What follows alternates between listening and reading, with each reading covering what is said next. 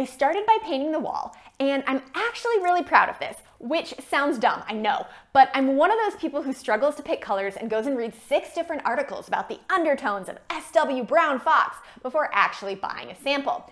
And this turned out well, so color me shocked. Then I grabbed some 2x3s and turned them into 1x2s.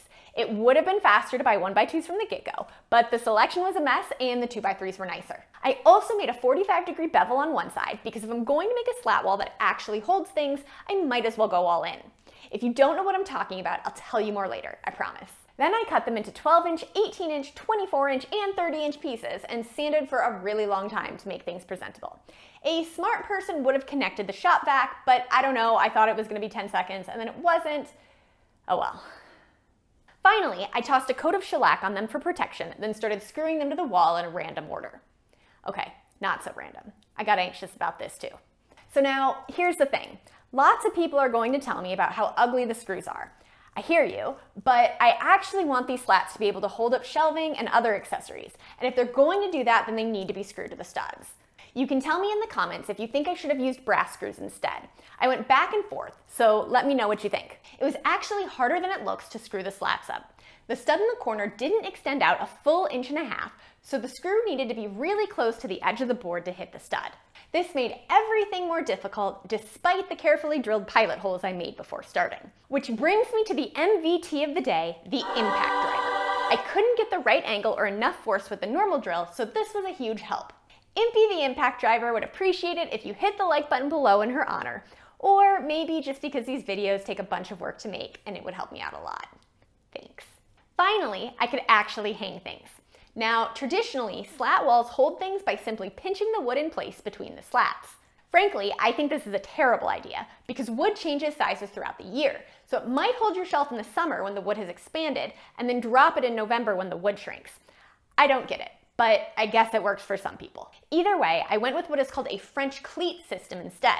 That beveled edge I made locks with another beveled edge against the wall. You can actually hold really heavy things this way. Usually, you leave a lot of space between the slats since you have to be able to lift up the cleat to move it off the wall. But since my slats weren't actually very long, I figured I could just keep the slats close together and slide the cleat off the edge instead. I built two little bookshelves to go on the bottom, and then a few basic boxes to hold some plants up top. Neither of these were particularly innovative or impressive, but I did practice my box joint skills on the bookshelves with moderate success. Then I went for a second try at these minimalist peg hook things.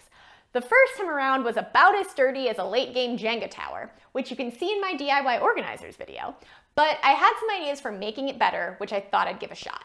This time I used smaller screws and it was a huge improvement, but it's still a little wobblier than I'd like. Threaded inserts instead of T-nuts might make it even better, so if these don't hold up, I'll try that. I made some quick plant hangers out of leftover cotton cord. I am not a macrame expert. In fact, I don't even know how to say it. Is it macrame? Is it macrame? I, I don't know. Please send help.